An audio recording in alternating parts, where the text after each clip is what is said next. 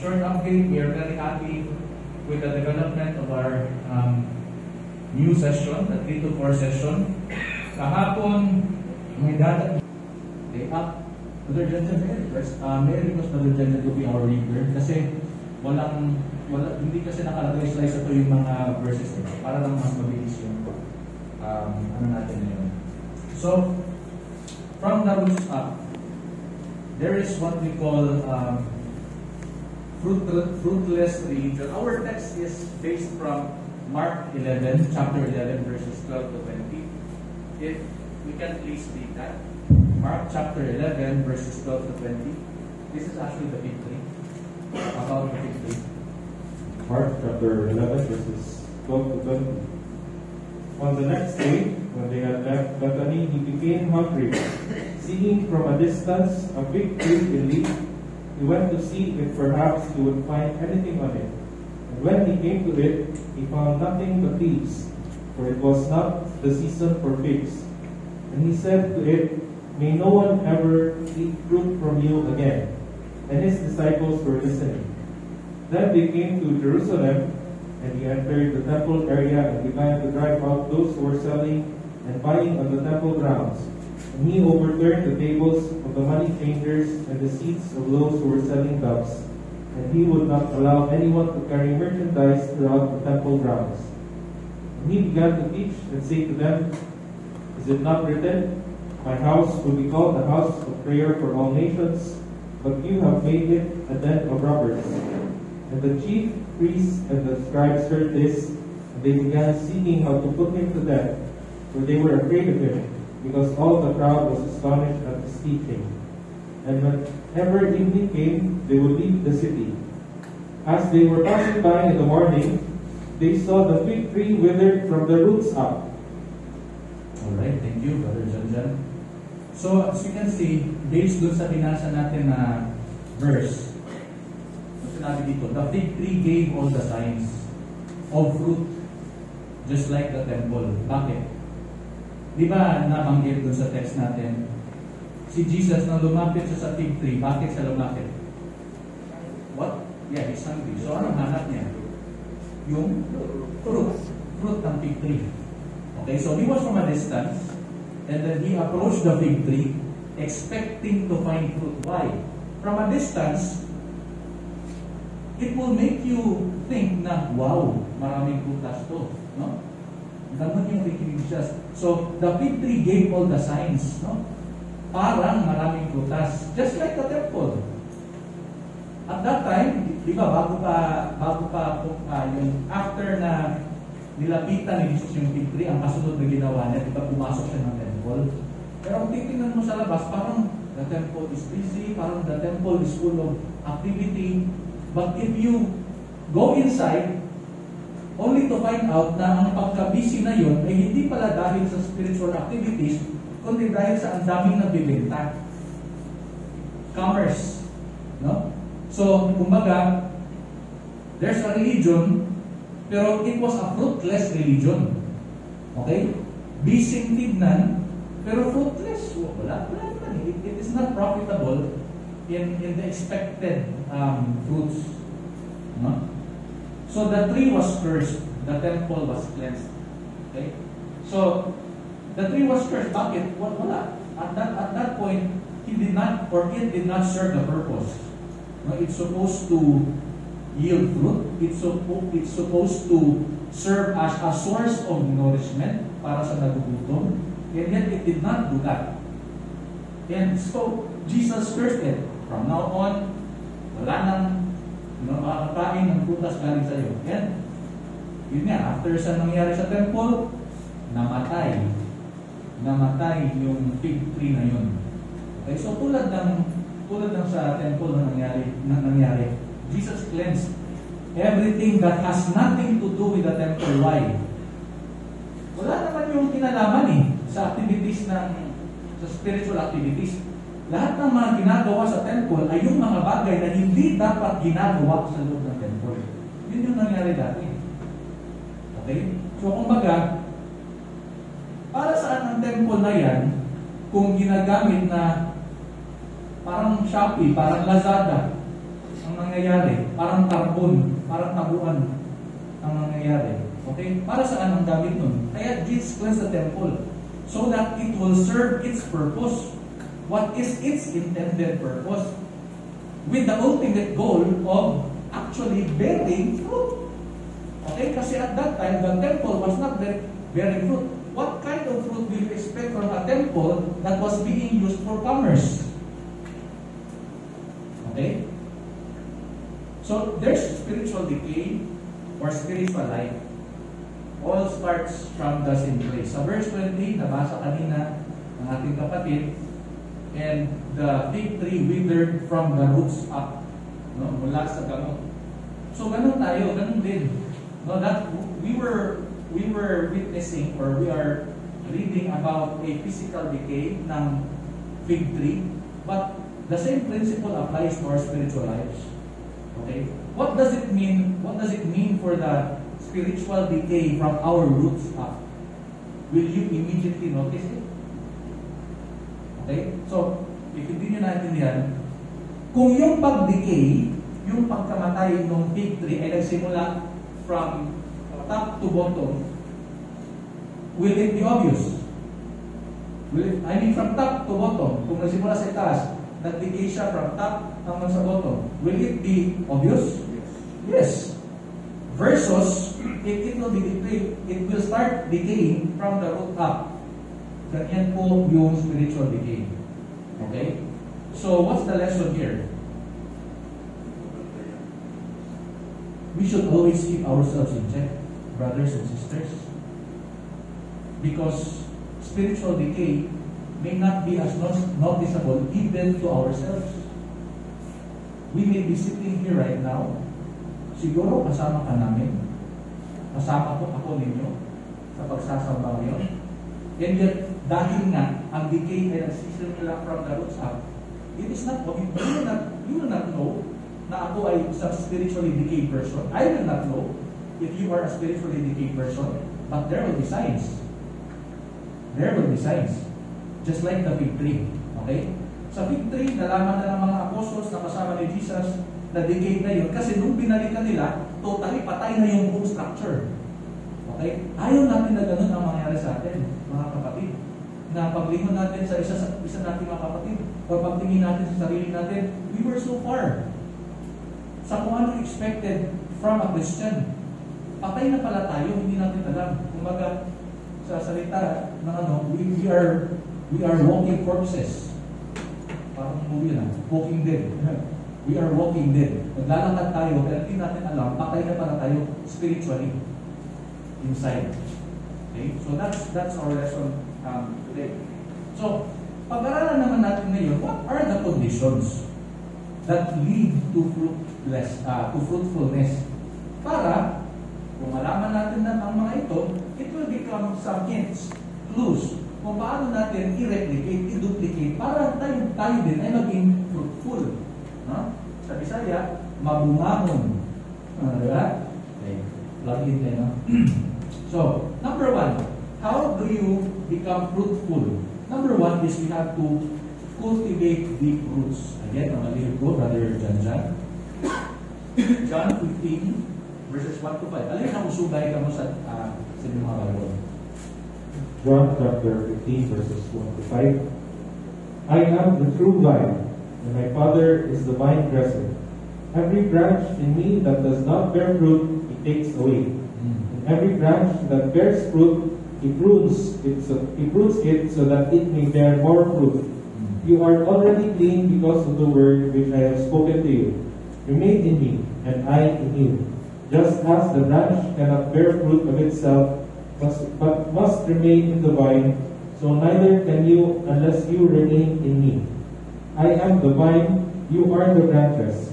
The one who remains in me and I in him bears much fruit. For apart from me, you can do nothing. Okay? Thank you for that. So, basically, kung titingnan nyo, hindi naman talaga nag, nag it is, the verse wasn't talking about actually having deep roots. Kasi, kung napapansin nyo ang illustration niya, the Christian was supposed to be a dependent branch to the vine.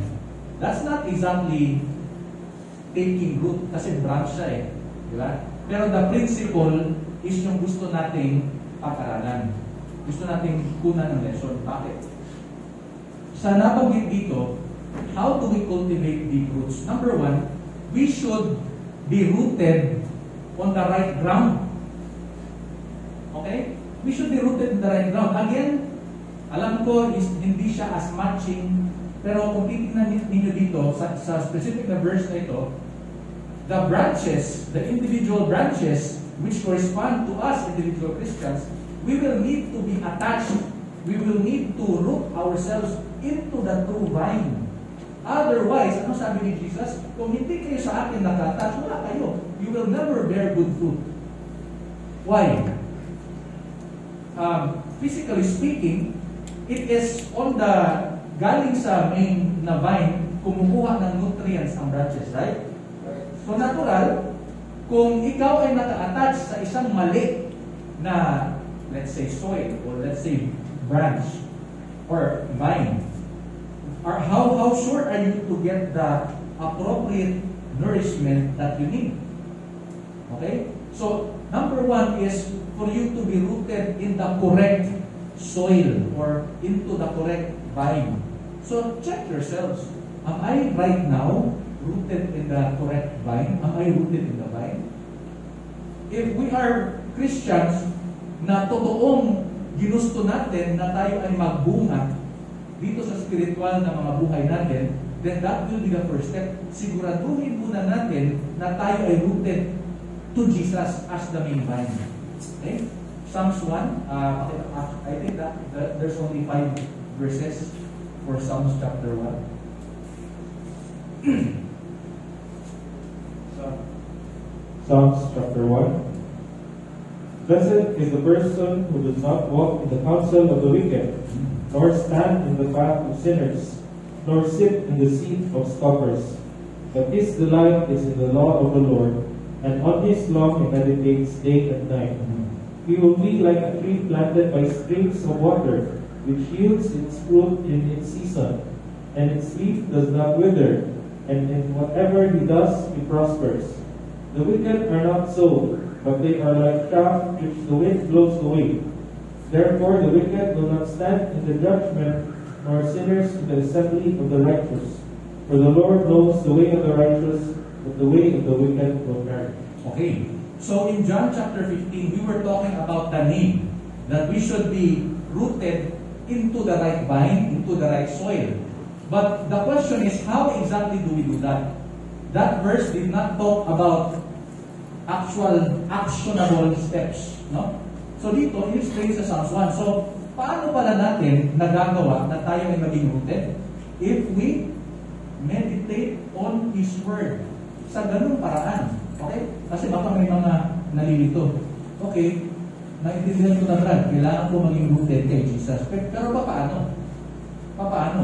So, sa John 15, explain lang naman dyan, illustration ng vine. O eto, Psalms 1 explains it. Then, ang paraan is to meditate on His Word. What what are you actually doing if you constantly meditate on God's Word? Okay?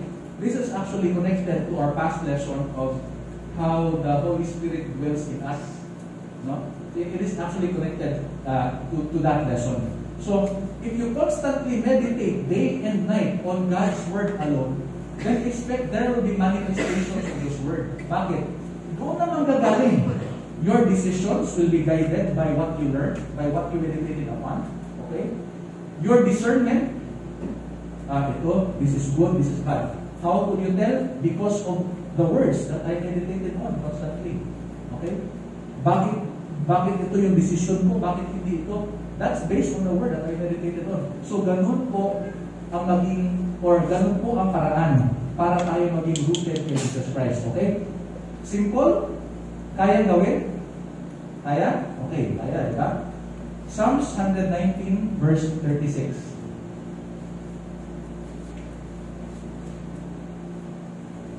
Psalms 1, 119, verse 36. Incline my heart to your testimonies and not to dishonest gain. Ayun, incline heart to my testimonies. And we all know that the testimonies of Jesus were already recorded. Palagi ko itong in-emphasize sa aking mga online sessions. They never to look for other sources of doctrine, other sources kung saan mo ipa, ibabase yung, yung way, yung spiritual way of life mo, only based it on the Bible. Because the Bible, if you haven't realized it yet, is the written record na iniwan sa atin ng Panginoon.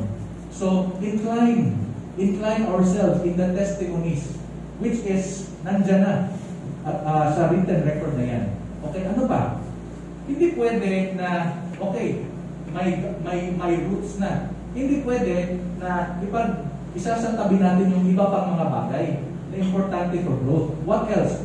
Number two, eliminate the weeds. It's okay, Brother John.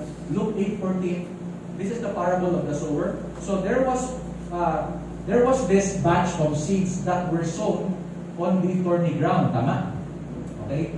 And sa alam sa nalaman na natin, those thorns became the reason why the seeds that grew up were choked. Pag choked, hindi tumuloy sa pagtubo, sa pagpag-grow. And because hindi na tumuloy, naturally, hindi din nagbubunga. So what is the most logical thing to do kung gusto mo yung seed na yon that is implanted will, will, will grow up and bear fruits? Remove the weeds. Okay, remove the weeds. Anything that becomes a hindrance for you to bear fruit, okay, to bear fruit in the work of God, remove that. Tanggalin natin, hindi pwede rooted na ako, o sige, nagbabasa na ako sa Word of God, pero wala kang tinanggal sa sarili mo na mga ibang bagay. Remember, the thorn was competing. Okay? The thorn was competing with the growing seedling. No? As, as what we can read in Luke 8.14. And of course, uh, needless to explain, when I say competing, it will become your distraction with an A, distraction. You will be distracted. You will never have focus. Hindi mo, hindi ka makapag-commit na ito yung gusto kong gawin para sa aking Panginoon. You can never do that. Why? Ang dami sa, sa gabal, sa gilid.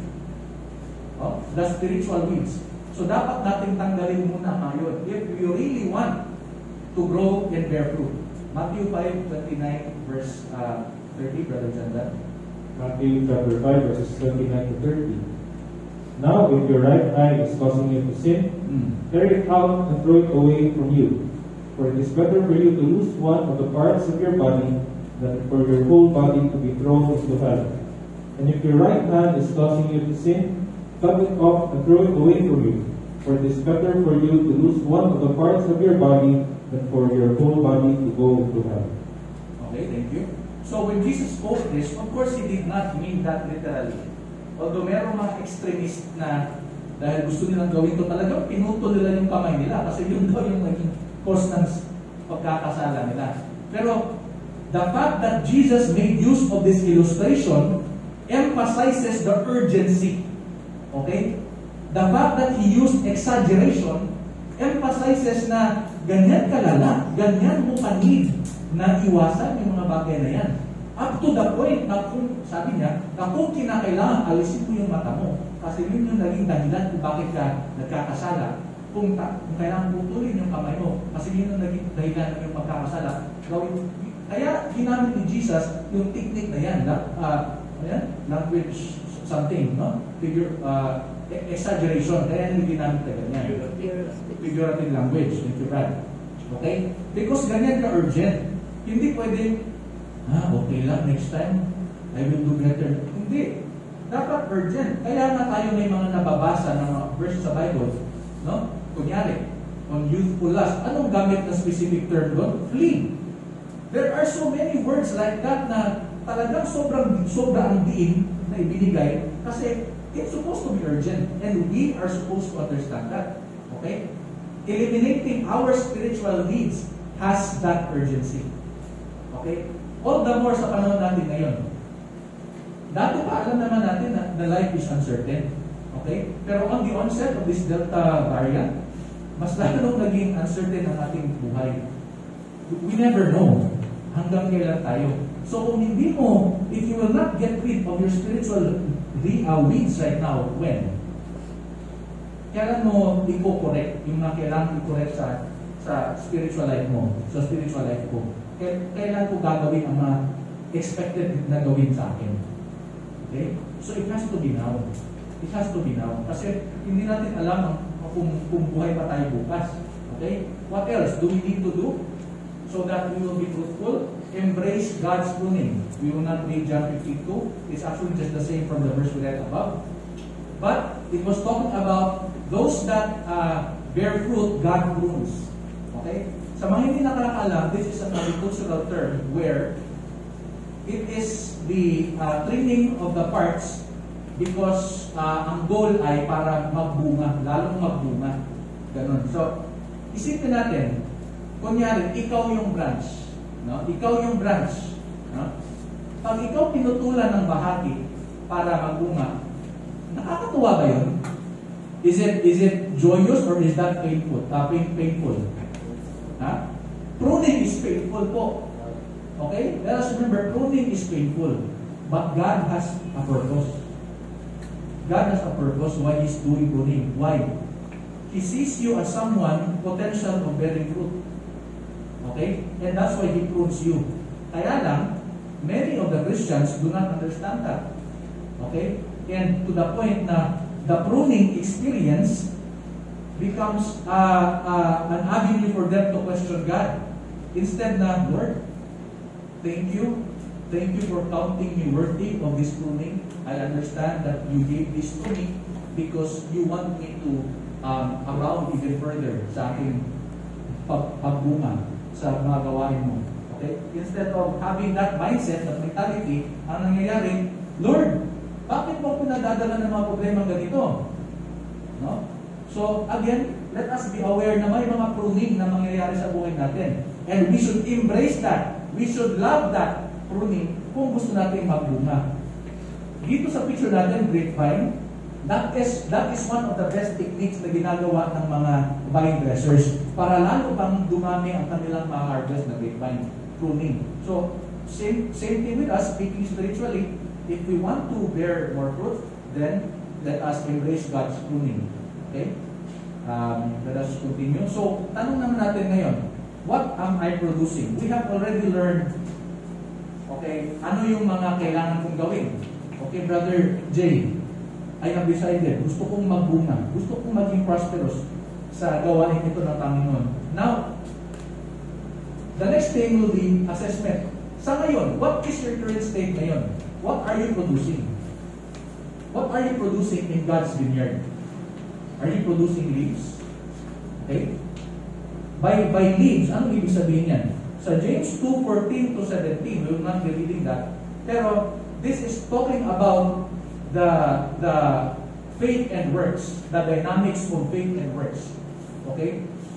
Are you producing works to um, justify your faith, to prove your faith? Or parang panlabas lang ang nangyayari? Okay? Parang panlabas lang ang nangyayari. Tulad nung, tulad nung binasa natin kanina sa John 15, di ba? In the first place, why why did Jesus approach the fig tree at that time when he was hungry? Bakit? Nung tinignan niya, uy, ang daming dahon, green na green. For sure, may bunga to. May mga ganyan. Okay? So, for Christians, titingnan mo, ay, ano si Brad, ano si Brad. Walang, walang absent, no? Palaging nandito. May mga ganyan. Kung tingnan mo sa panglabas, okay sa panglabas. Okay? But kung tulad ni Jesus, when He finally approached the fig tree, tinignan niya yung mga dahon. Teka, puro dahon lang pala to. Okay? Nasaan ang butas? Nasaan ang butas? Or, speaking of it collectively, gaya natin, local church, we've always had um, assemblies like this, Sunday assemblies. We've always done gospel meetings, meron din tayo mga online sessions. You might be always present to that, but hanggang saan yung ginawa mo? Are you only until attending? Or did you actually actively participate and contribute to the activity? Magkaiba po yun. Magkaiba po yun. Okay? Hindi enough, hindi enough na nag-attend tayo. And we have been emphasizing that, please do not get me wrong. Importante po, ang mag-assemble kasama ang brethren. Kasi that's what we're strengthening ourselves. Pero para saan po ang pag-strengthen ng spiritual lives natin if we would not put that into practice? Para may iba naman na makinabang sa edification na yan. Hanggat, hanggat we kept that our, hanggat we kept what we learned for uh, to ourselves lang, and we do not share that to others, sino lang ba ang maliligtas? Tayo lang. Wala na tayong ibang madadala. Pero, di ba, kung natatandaan nyo sa past lessons natin, it is still a sin. It is still a sin if you do not share. Why? There was a command. That was one of the greatest command of Jesus before He ascended to heaven. Go and preach. Again, alam ko, paulit-ulit ko na itong sinasabi, pag may command, may expected na obedience. At hanggat hindi mo ginagawa yon, that is a sin. For sin is the transgression of the law. Okay?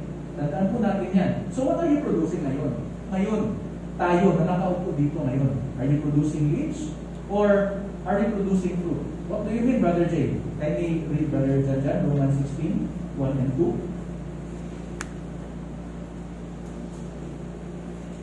Romans chapter 16, verses 1 and 2. I recommend to you our sister Phoebe, who is a servant of the church which is at Centrea, that you receive her in the Lord in a manner worthy of the saints, and that you help her in whatever matter she may have need of you.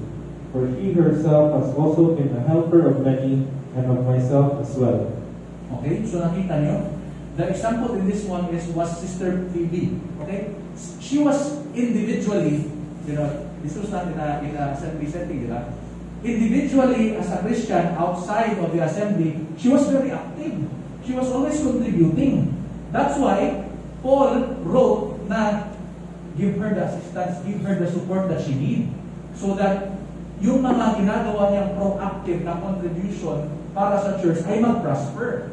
But the thing is, that is the fruit that we need. Yan ang mga prutas na hinahanap natin. Actual actions that will contribute to the growth of the local church, to the growth of the body of Christ. In Acts 9.39, we will not be reading that. Same thing with Dorcas, with Tabitha. Okay, yung namatay, na binuhay ulit ni Peter. Same thing. She was known, when, she was alive, she was known to be a woman who was very aggressive in the work of God. Ang dami niya natulungan. So these kinds of fruits are what we are looking for in the local church. Okay? Kasi, um, this is a painful reality, but baka, baka naman at some point of our lives, of our stay here, we have also asked, bakit nananatili tayo sa ganitong dami? We have been worshiping for how many years? How come ganito ganito pa rin more or less ang ating ang, ang numerical, you know, ang numbers natin. Bakit ganun? So, ha- have you asked that? Have you asked that? Well, because dati, maybe we were reluctant to go out. And that's and that's why we did something about it. We planned, okay, we had the YCT trainings, and then now is the time of implementation. So, we were provided with the training we need. We were provided with the knowledge we need. Question, what did we do about it? Did we make full use of it? We bought Zoom. We bought tools. No? Kumbaga, we, we are already equipped with everything that we need. The next question is, what did we do? We can still never bear fruit unless we actually grab those that are provided and put them to use. Okay? So, what am I producing? Leaves, meaning I merely attended, no? Pero kung fruits, I worship. Okay? Nabanggit ko dati, no? Pumunta ka dito, pero sa pag pag-awit. Di ba? Remember, we are individually priests. Okay? Pero, yung sacrifice na in-offer mo sa Panginoon, in terms of pag-awit, hindi man lang bubukay yung bibig mo. Sa pag-pray, hindi ka man lang nakafocus. Sa pag-aaral, natutulog ka. Siguro sa pag-officiate ng Lord's Supper, minsan, I'm not saying always, ha? pero minsan because of in, uh, negligence or something, nahulog yung elements, may mga ganyan. Di ba? Priest dati, ang ating counterpart na priest dati sa Levitical priesthood, they were very careful in, in, in, the, in the sacrifice that they offer. Why? Alam nila na sila lang yung qualified na gagawa nun. They are the only ones who can who can actually offer acceptable worship. That's why sa every little parts na kanilang ginagawa ng worship, metikuloso sila doon. Importante sa kanila. Okay, tayo, we are the spiritual counterparts ng mga Levites na yun. We should also be as appreciative and we should also be as careful and we should not be as negligent sa ginagawa natin na duty. Kasi nga, tayo lang po ang nakapagbibigay ng sacrifices na tinatanggap ng ating Diyos. Okay? So, again, don't merely attend. Don't merely sit there. Okay? When you are when you are told to stand up and sing, sing. Sing with all vigor. When you are asked to preach, then preach. Prepare for your preaching. Make sure na pag-preach mo, pag uwi naman nakinig sa iyo, may nababaon sila. May natutunan sila. Hindi yung nag-preach ka nga for the compliance. Ikaw mismo hindi mo na intindihan yung preaching mo. Hindi pwedeng ganun. Okay? Tapos kung, nag, kung nag-lead ng prayer, make sure na lahat kasi na, kaya nga leader eh. You represent the local or the local church, you lead. Okay? So if you pray for the elements, make sure that you serve that purpose. When you handle, um, you know, gospel meetings or online God sessions, make sure that you serve your purpose. Yun yun.